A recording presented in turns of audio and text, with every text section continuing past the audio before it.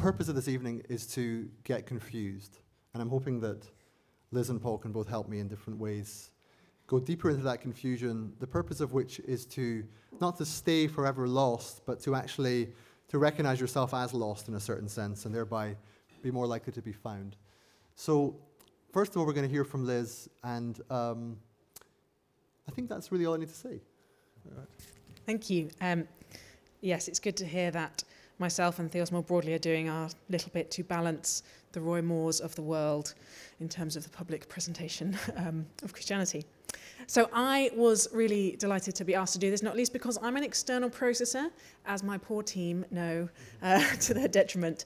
And it's a great opportunity to um, process some of the cognitive dissonance that I feel every Christmas. I remember last year sitting in midnight mass with my husband, singing Snow Has Fallen, Snow on Snow, thinking about the meteorological likelihood of snow in the Middle East. Um, and I turned to him and I said, I really would like to separate out the component parts of Christmas and give them their due. Because what I think uh, part of the confusion is around Christmas is we are celebrating almost three separate festivals at the same time. The first one is the one that we see on billboards and adverts uh, around here, the John Lewis advert uh, that is very in your face. And it's essentially a festival of domesticity, of childhood, and of prosperity. It grew up mainly in the Victorian era, as we know, and I think Paul will say a little bit more about that. And now it's just a really useful trope of capitalism. It tells us that giving and receiving the perfect gift uh, will, will bring us into loving relationships. It tells us that if we have the most delicious meal of the year, we'll raise to more sensual heights. It talks to us about just sinking into the most kind of wonderful, sensual, comfortable circumstances we can create for ourselves, rich with nostalgia. And that that is all just what everyone does at this time of year. It tends to deify the nuclear family in ways that can make us um, quite more lonely. It puts enormous pressure on people, especially women, to create magic and to create perfection. And as we've heard, it creates more waste than any other time of year. And of course, a lot of it is really lovely, and I'm really looking forward to it, even though I know all of those things. So there's already some confusion there. Second festival is the remnants of older pagan festivals about the rhythm of the year and the natural world. The winter solstice and Yule and Saturnalia. Many of these pre-Christian uh, cultures had midwinter festivals with some um, noticeable overlap in their themes about feasting, about celebrating the greenery, about gift giving about light in the darkness. And as a Christian who, if I ever lost my faith in God, would be a pagan, I love a lot of that as well. I think it's, um, it's a wonderful element. Interestingly, one component part of those older celebrations of Christmas, which has been completely lost, is the anarchic status upending element of Christmas, which was really central for many, many centuries. Some historians trace it to pagan traditions, some to a much more radical um, expression of the early church, which challenged status. But really, up to the Victorian period, Christmas uh, in most places was a day of drunken carousing, where hierarchies got completely upended.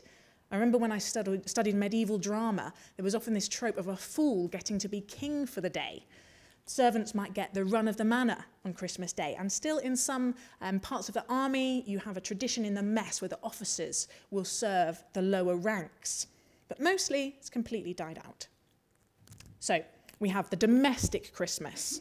We have the pagan Christmas. And of course, underneath, around, poking out between those, we have a Christian festival. But it's a festival that actually has a slightly strange relationship with the church. It didn't start being celebrated until quite late in the life of the church. There have been whole centuries in which it wasn't particularly a big deal in the church calendar. Easter was much more important, other festivals like Epiphany and All Souls' Day. And still, there are the um, inheritors of Cromwell, more Puritan leaning parts of the church throughout the world who, who refuse to celebrate Christmas at all. And it's also based on some really quite odd bits of the Bible. I don't know if you've ever been back to read the Bible stories in the original text. It's in two places in the Gospels, um, two slightly different tellings, and we have a kind of syncretized version of them. There's shepherds in one and, and, king, and wise, wise men in the other. Um, you don't get them both in the same place.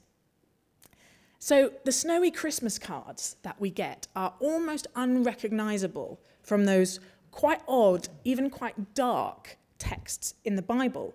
There's a few obvious things, like there's no, not only are there no kings, there's no mention of numbers. It might have been 100, it might have been one. Um, there's no stable in there. There's lots of details that we get from culture that just aren't in there, and lots of other details that we never hear about. And I think the thing for me that's most um, important that's missing, and there's a Theos report about this called The Politics of Christmas, is the political background. It starts, or at least one of the ta- starts, uh, one of the texts starts by referencing the center of power, Caesar Augustus, uh, Quirinius, you know, the, the high status men in togas. And then it zooms out and zooms in in a completely different place. The Jews in Palestine at the time the Jews in Palestine at the time were an occupied, oppressed minority. The air is thick with political unrest, with rumours of revolution. The cosy trip to Bethlehem on a little donkey is, in fact, part of a mass forced movement of people. There's something very sinister about what is going on. Bethlehem is a backwater town in a backwater province at the very outer edges of empire, as far, as, as far away as you can imagine from where important things happen. Nothing important happens there, especially to poor families, to women who have created scandal, to the underclasses, the marginalized, the poorest of the poor, the lowest of the low, the shepherds. The stories of these people in the ancient Near East are never recorded. Nothing happens in places like these. After Jesus is born, the text records that there is a, a massacre of baby boys. Uh, that Herod is so jealous of this idea of a king coming from this incredibly low status position to threaten him that he uh, massacres babies under two, and so Jesus' family flees. He becomes a refugee in the Middle East. He starts his life as an asylum seeker. It's none of it is cozy or comforting. Everything in there is disturbing and unsettling. It's not going to help us have the perfect Christmas or a magical time or steep ourselves in nostalgia and cinnamon. Neither is it a generalized celebration of the turning of the seasons that helps us mark the rhythm of the year in a way that feels like it's gone on for centuries, the same thing, the trees shed their leaves and they grow them again. No, this is a break point. It's got a scandalous particularity to it and a radically subversive statement about where power and significance really lie. So you've got three separate festivals, all of which are a bit weird within themselves. Domestic festival of prosperity and warmth and closing in on ourselves. The pagan festival, which is a bit spikier, but only really exists still in, in remnants. And then this really weird Christian bit. And the three come together sometimes with a screech of gears and sparking metal. And I think the centrality of children at Christmas is part of the problem so I have this funny thing that when I talk to adults about my Christian faith, and I love doing this, and I've had lots of glasses of wine with Jonathan and Pippa and others in the room, and we've talked about the questions and the baggage and the intellectual elements and the emotional elements, and I love doing it. And every time I do it, my conviction that there is something good and true and beautiful here grows. My faith is strengthened. When I talk to children, the exact opposite thing happens. I have a three year old girl, and she started asking really good questions like, Mummy, where's God? Trying to explain the Christian story to children requires us to oversimplify um, to the point of absurdity. To make it less mind bending and disturbing, we have this cozy, almost entirely animal based version. My daughter this year is a nativity mouse. I'm being serious, that's what she's doing. we have the pretty bits around the edges with the angels and the really cleaned up, made socially acceptable shepherds but the idea at the center that God was so determined to be in relationship with us, with humankind, that he loved everyone, each individual, so enduringly and powerfully, that he would lay down that high status, that he would give up power and peace and distance and the love within the Trinity to come and really live our broken lives and ultimately to suffer alongside us it's just not something you can fit inside the mind of a uh, in the mind of a child. It's not really something you can fit inside the mind of an adult. Christmas for Christians is about the incarnation, and, and carne here is the same root as chili con carne, it's meat. God with meat on. God made flesh. The word, the logos, if you know any Greek philosophy, the logos become a person. And that person isn't a king or an emperor, but a powerless, poor, stateless, scandal ridden, marginalized refugee infant. It's really, really weird, like the Christian bit of the Christmas story. My husband is a philosopher of science and he trained in physics, and he always talks about how um, the first thing you do in a physics degree, or the first thing he did, is you have to unlearn everything you've learned in GCSE physics and A level physics because it's so simplified as to be wrong.